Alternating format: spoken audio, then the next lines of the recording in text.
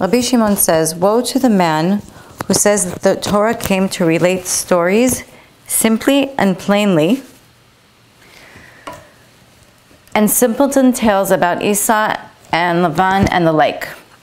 If it was so, even at the present day, we could produce a Torah from simplistic matters and perhaps even nicer one than those.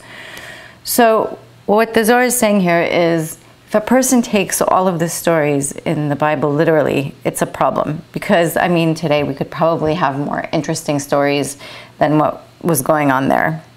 If the, if the Torah came to exemplify worldly matters, even the rulers of the world have among them things that are superior. If so, let us follow them and produce from them a Torah in the same manner. It must be that all items in the Torah are of a superior nature and uppermost secrets. I mean, basically, if we thought that it was just all stories, I can tell you that with everything that's happening today, we could just put all those stories in the Torah and have a Torah of our own, right? So obviously, there is there are deeper secrets and there's a deeper meaning. Come and behold. The world above and the world below are measured with one scale.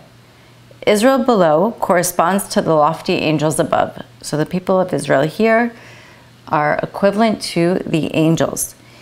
It is written about the lofty angels, who makes the winds his messengers. When they go down, they don with the vestments of this world. So when the angels come down to this world, they look like human beings. If they had not acquired the dress for this world, they would not be able to exist in this world, and the world would not be able to stand them. Can you imagine if you could actually see the angels? I think we would all faint if we could actually see everything around us. If, and if this is so for the angels, how much more so is it for the Torah that created these messengers and all the worlds that exist due to it? Once it came down to this world, if it had not donned all these garments of this world, which are the stories and simplistic tales, the world would not have been able to tolerate it.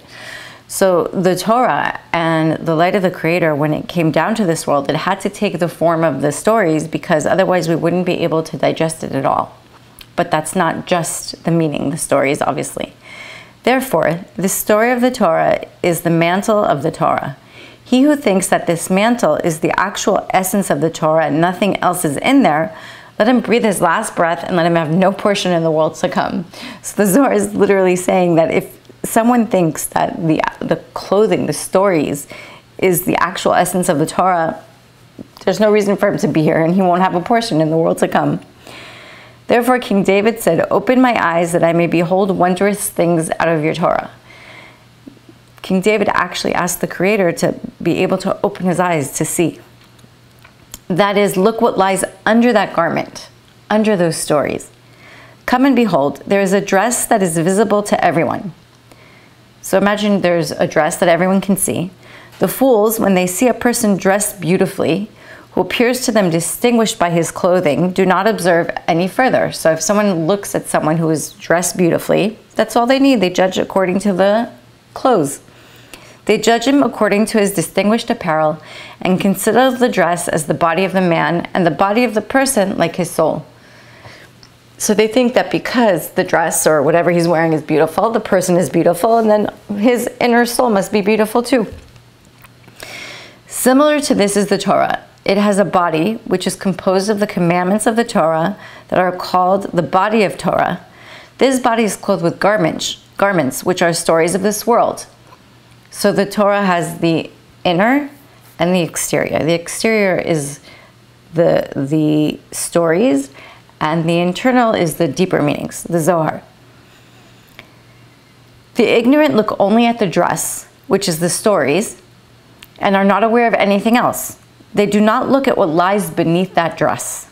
Those who know more do not look at the dress, but rather at the body beneath that dress. So, for people who are studying actually Zohar, and Kabbalah, we don't look at the stories, we look at what's under the stories, what's the meaning of the stories.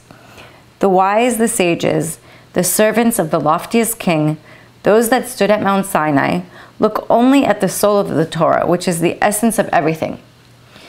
In the time to come, they will look at the soul, the soul of the Torah, the inner side. Come and behold, it is also like that above. There exists an apparel, so the clothing, a body, and a soul, and a soul of the soul.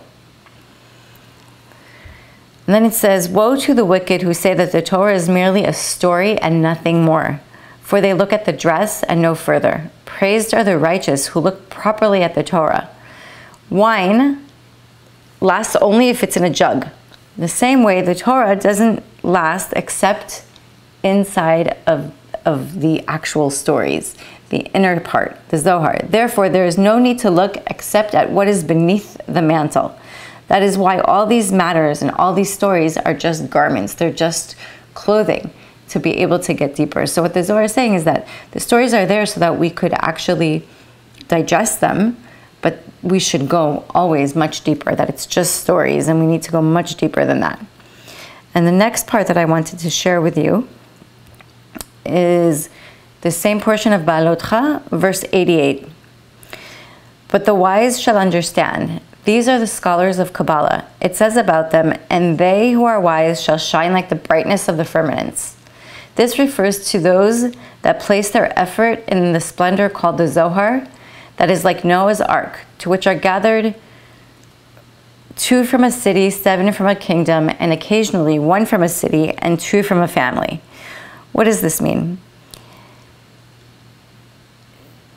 That the Zohar is like the ark, like Noah's ark. The Zohar is going to save everybody ultimately. That's why we're so, we believe so much in Zohar. We believe so much in the Zohar that we want to give it out to the masses. We want to make sure it gets to everybody. And I know Vicky was on the line and I wanted to thank Vicky again. I know Liao thanked her. And I want to thank everyone. I want to thank Faye, everyone who's helping us and Brenda, everyone who's helping us spread the Tikkunei Zohar. It's so important. And we would like to spread more and more. And we want to thank you guys. And now I'm going to bring my son, Michael.